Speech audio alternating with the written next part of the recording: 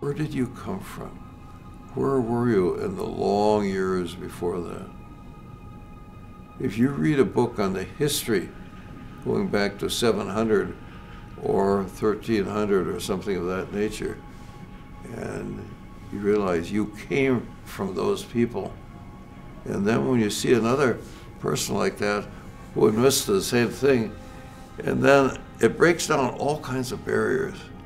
And uh, if you've read some on it too, and then you can share what you've read with each other.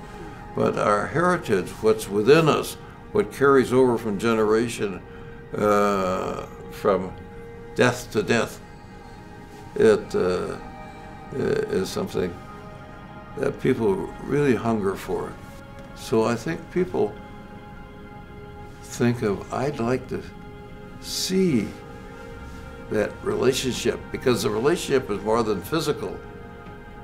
It is within the heart, the spirit, and the mind as well.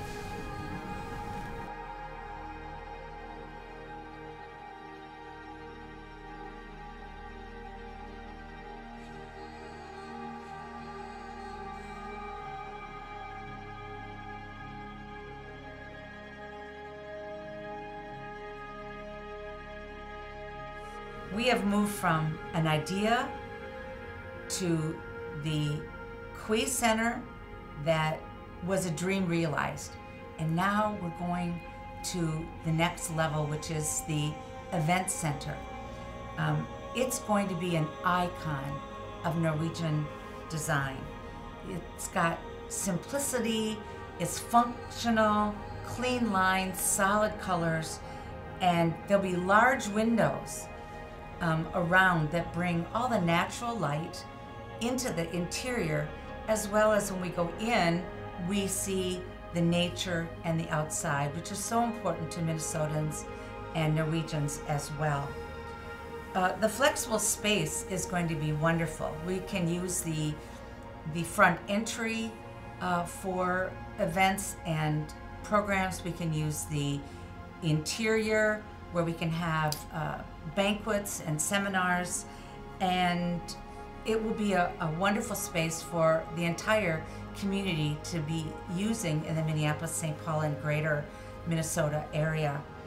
Um, in the lower level, there is going to be a research library, and with the great interest in genealogy, this is going to be a, a spectacular place to find your roots, to learn about your names, to learn about the places in Norway. We'll have programs for children, programs for youth, programs for other organizations to be able to use the space at Norway House. So we are very excited about what's going to happen within the walls of Norway House.